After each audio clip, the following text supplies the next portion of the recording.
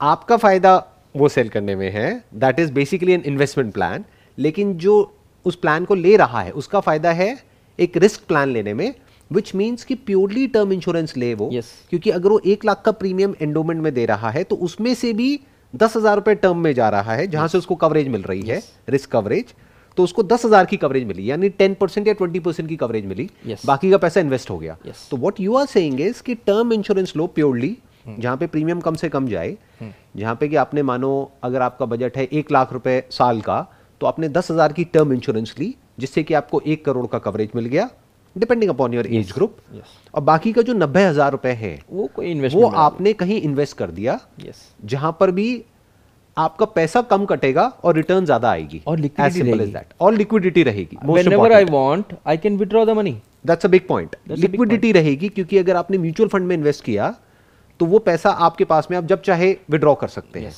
Lock in है भी तो मैक्सिमम yes. एक साल का लॉक इन है। Yes. कटा भी तो थोड़ा बहुत कटेगा। और बहुत सारे म्यूचुअल फंड ऐसे भी है जहाँ पे कुछ भी नहीं कटता है। Yes. ना एंट्री लोड है ना एग्जिट लोड है। Exactly.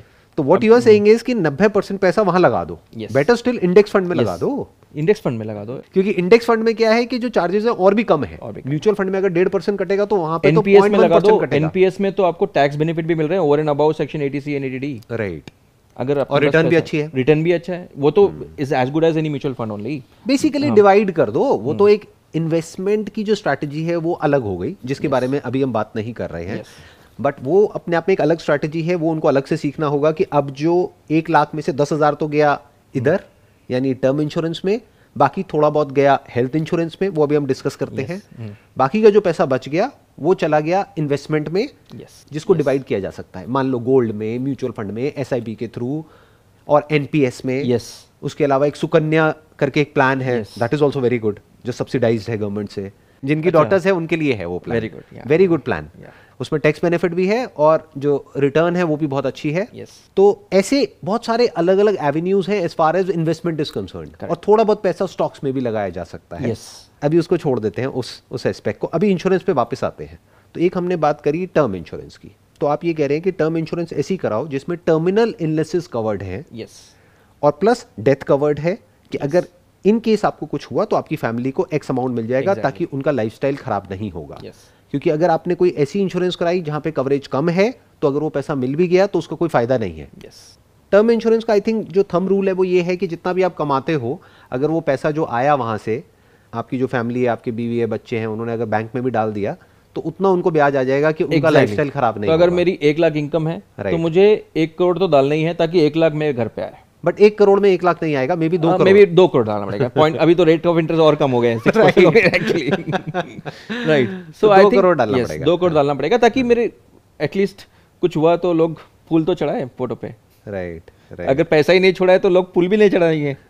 फूल चढ़ाने का पैसा नहीं है।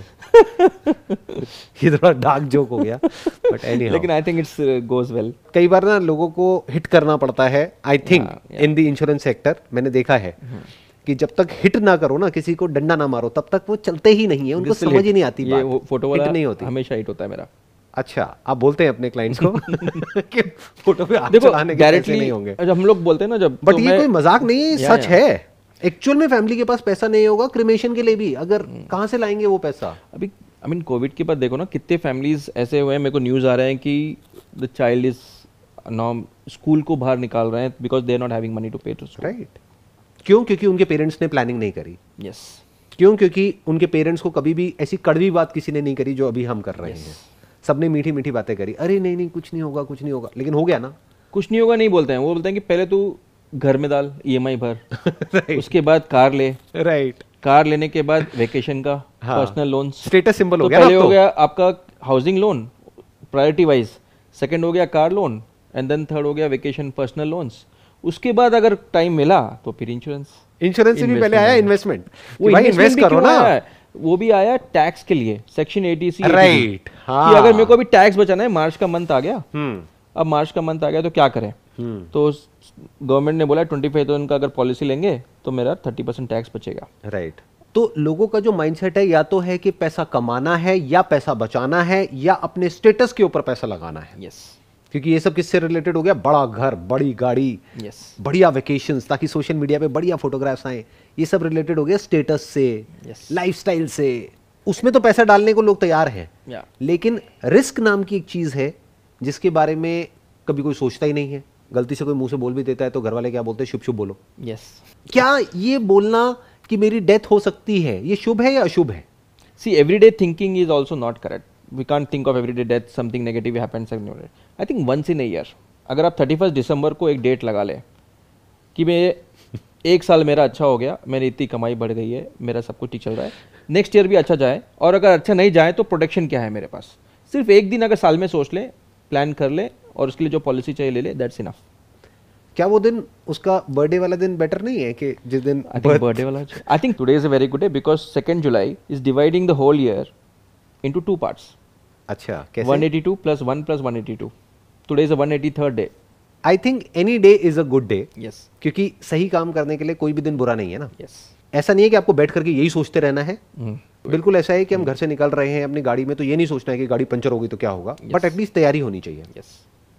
क्योंकि 99% परसेंट चांसेस क्या है गाड़ी पंचर नहीं होगी बट Helmet क्यों लगाते हैं हम लोग उसी हेलमेट क्यों लगाते हैं सीट बेल्ट क्यों पहनते हैं सीट बेल्ट क्यों पहनते हैं और अगर आप गाड़ी लेते लेकिन हो वो भी मज़े की बात यह है लोग चलान से बचने के लिए। वो भी। उनको ये लगता है चलान में हमारा नुकसान है जबकि चलान उनके फ़ायदे के लिए।